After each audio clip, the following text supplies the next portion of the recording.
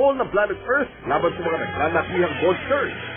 Isa lamang sa napakaraming sumikat na live-action Sentai series to 1990 dito sa Pilipinas. Ang Sentai ay isang Japanese word na ibig sabihin ay task force o isang grupong nakikipaglaban. Pero alam niyo ba kung kaninong boses ang nagbigay buhay kay Ultraman?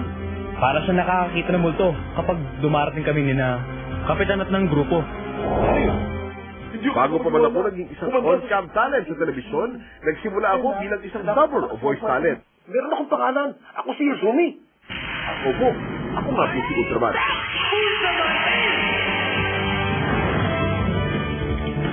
Alam niyo ba na walang salitang dubber sa diksyonaryo? Ang salitang dubber ay hango sa salitang dupe o pinaisin to duplicate. Dahil nung araw, dinuduplicate o pinaparami ng mano-mano ang mga cassette tape at mga 8-tracks na ginagamit sa recording. Masyado mahina ang teknik na yun, Tono Amaru! Ngayon, ipapakita ko sa inyong lahat ang bago Kailangan mo wala sila. Tapusin na natin sila lahat. Ang Hero TV ang kauna-unahan at naging isang all-Filipino dubbed anime channel sa Pilipinas. ang mga animations ay pinapalabas para sa mga bata dahil sa kakaibang kulay na programa and at the same time uh, yung mga aral, mga adventures sa anime masaya, sa anime makulay kung saan makulay, kung saan masaya doon ang mga bata Pero magdidepende pa rin ang pagiging masaya at makulay ng isang anime sa mga voice talent. Ayaw mo ba makipaglaban sa ito na kapulad ko? Binabalik mo ba ako? Master Megatron, narito na po kami. Ano po bang may paglilingkod namin sa inyo? At isa sa mga in-demand na voice talent ngayon ay si Pocholo Gonzales, ang tinaguriang voice master. Si Bing Kambing. Gusto akong subukan. Abuhay para sa Philippines 2000. Sino ka ba? Nasaan ka man? Wala nga naman hirap. Hoy, hoy, hoy! Let's do it! Ang saya-saya, no? Hala naman eh, eksklusibo! Susunod! Abangan! Nanganok eh!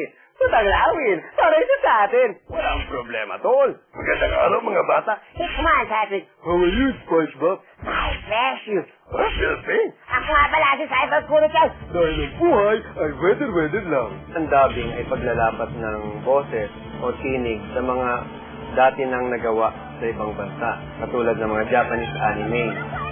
Kung si Pocholo ay marami ng cartoon characters na nabigyan ng boses, si Mel Blanc naman ng Estados Unidos ang binagsagang The Man of a Thousand Voices. Siyang nagbigay boses sa mga sikat na cartoon characters tulad nila Bugs Bunny, Daffy Duck, Porky Pig, Sylvester the Cat, at ang cute na cute na si Tweety Bird. Noong 1928 naman, pinalabas ang kauna-unahang animation na nilagyan ng tunog, ang Steamboat Willie, na pinagbidahan ni Mickey Mouse. Ito'y nilapatan ng musika at habang nagmamaneho ng barko si Mickey, siya'y sumisipol-sipol. Makalipas ng isang taon, nilabas ang isa pang animation ni Mickey Mouse, ang The Carnival Kid.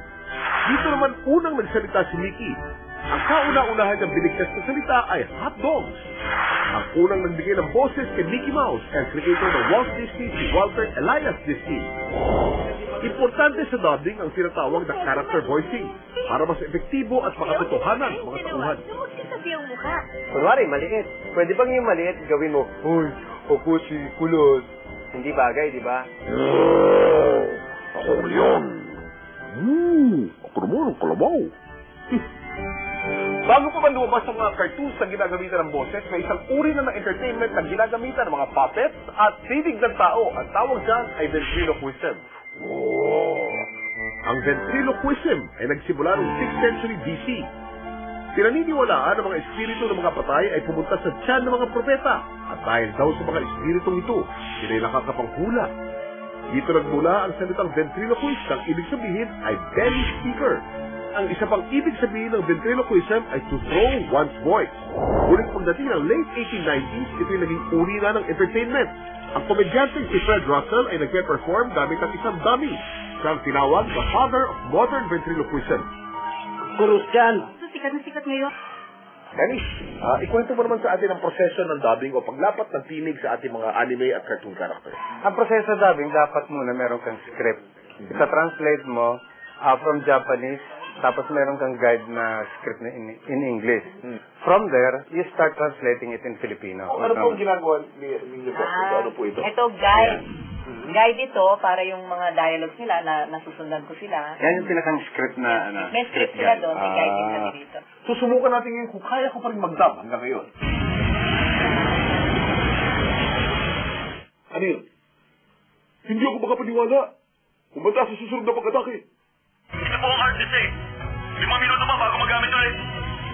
Hori, paputokan muna natin ang halimaw. Sandali! Bakit na naman? Pwede na siguro yun. Medyo ikalawang na eh. Kailangan talaga! Isa sa pinakasikat na anime ngayon ang Naruto at ipapakita naman namin sa inyo paano dinadabak iba't ibang mga anime characters ngayong araw na to. Sakura, long time no see ah. Haba, Naruto. Mas natangad ka na pala kaysa sa akin ngayon. Ha? Ah, oo nga, Sakura. Palagay ko, mas malakas ka na ngayon kaysa nung huling nagkita tayo. Ha? Lang yan. Hindi naman nagbago ang itsura mo eh. Kamahalan, dito sa kaya ng dalan, kinakailangan mo na ang iyong husband sa kanilang paraan. Oh, hindi kailangan ng ano yan, ah. Hindi kailangan ng mixer. Sandali lang, Ulo. Inuutusan pa pa ako ni Papa. Eh,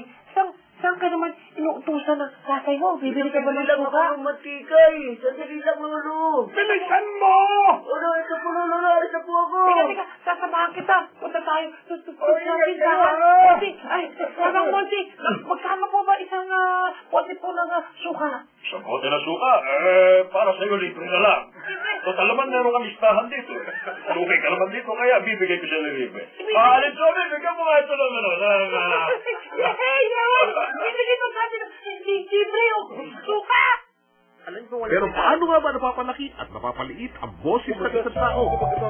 Hindi ang throat o lalamunan ang siya nagiging dahilan ng pabago-bago ng boses.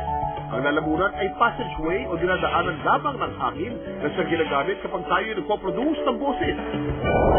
Nagiging mababa ang boses kapag hinuhugot natin ang hangin mula sa diaphragm.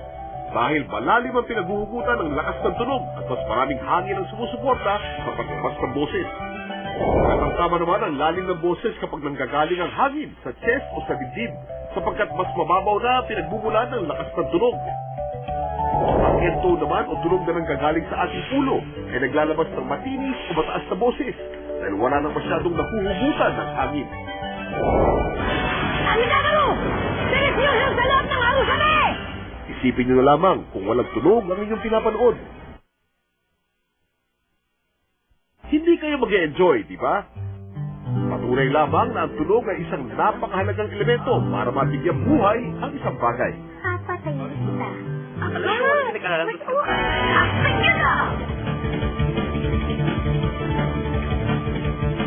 Alam niyo ba na ang paborito nating superhero na si Superman ay unang lumabas bilang animated cartoon series noong 1940? Samantalang ang first Spider-Man series naman ay napanood noong 1967 at makalipas ng dalawang taon, hindi rin nagpatalo si Batman at nagkaroon din ito ng animated version. Matanda!